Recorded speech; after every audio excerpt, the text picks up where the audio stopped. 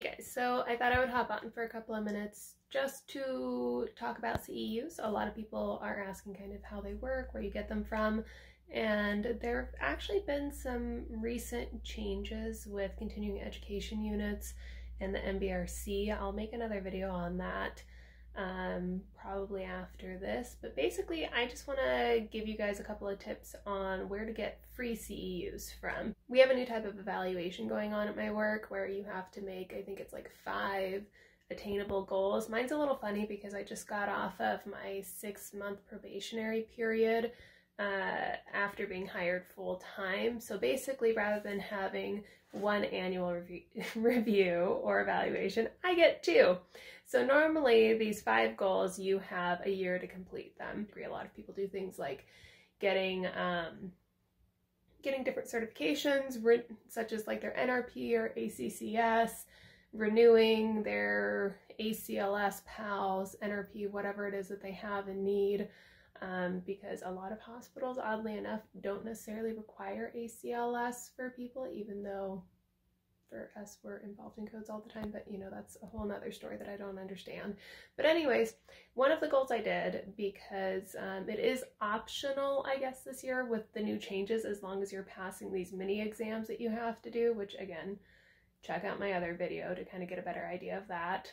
And um, one of the goals I did was to get 10 continuing education credits or units, whatever you want to call them, or whatever you call them in your state, and to turn those in to show that I'm furthering my education on top of my bachelor's degree. You know, if you decide to go the continuing education route still, make sure you're checking with your state and your governing board because some states have criteria such as a certain number of live attended CEUs you need to get, and others have very specific things such as, I don't know, like three credits in ethics or maybe like bioterrorism, depending on the area you live in. So make sure you check with the state and the NBRC to see what is required of you, because also if you were just graduating and trying to figure out how to get CEUs, depending on the time of the year that you graduated, they will adjust the number of required CEUs for your license, which is what happened to me. I think I only had to get like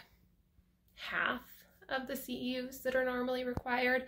So again, check with your state, check with the NBRC, make sure you're doing your research so you don't actually accidentally go, oh my god, I need like 15 more CEUs. I had no idea, or whatever the case may be. In the description box below, I am going to actually link all of these programs for you guys and websites because a lot of places have um, free CEUs, but you want to make sure that they are legit.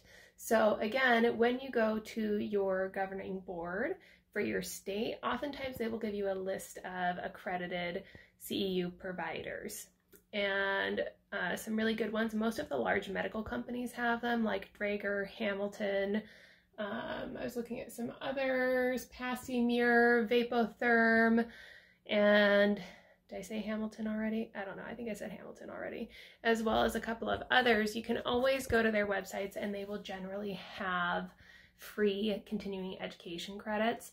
And if you are part of the AARC, uh, one of the things included in your your membership fee are discounted and free continuing education units.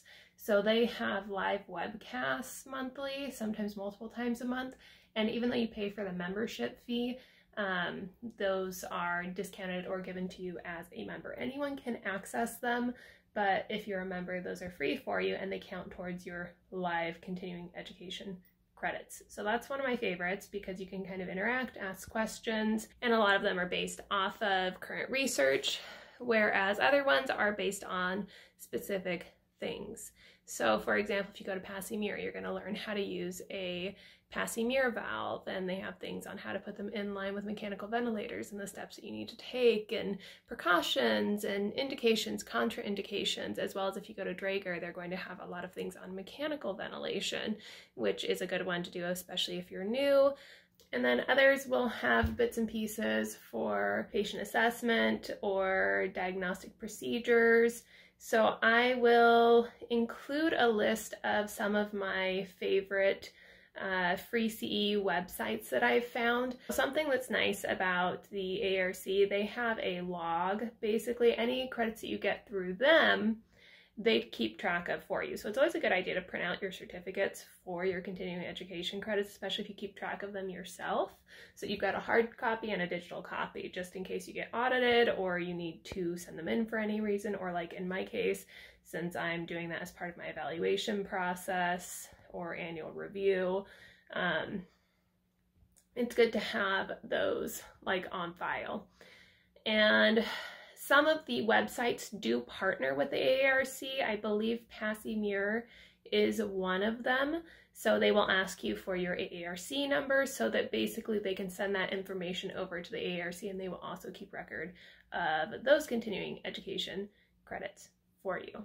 Which I like those ones because it keeps everything in one place for me because I believe with the AARC they have an option where you can send proof of your CEUs over them. Don't mind my open closet and all my textbooks up there because I just don't get rid of them. Some of them I've got to get rid of. But anyways, so I like when everything's condensed and kept in one spot, but again, I do recommend printing out the proof of getting your CEUs just on the off chance that you can't access something for some reason, something goes down or it doesn't transfer over properly. Cover yourself, keep your records because it's going to be a huge pain if all of a sudden you're getting like audited for your license and they want proof of all of your CEUs.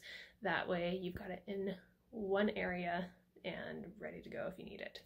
So I will um, add all of those links in the description box to the various ones that I found and like. If there are any CEU websites, free CEU, again, I'm saying free because of course there's other options you can do that are not free, but especially when you're a new grad and you are having to start paying your student loans, or maybe you're only working per diem and not full time yet. It's nice to have free options that are decent quality.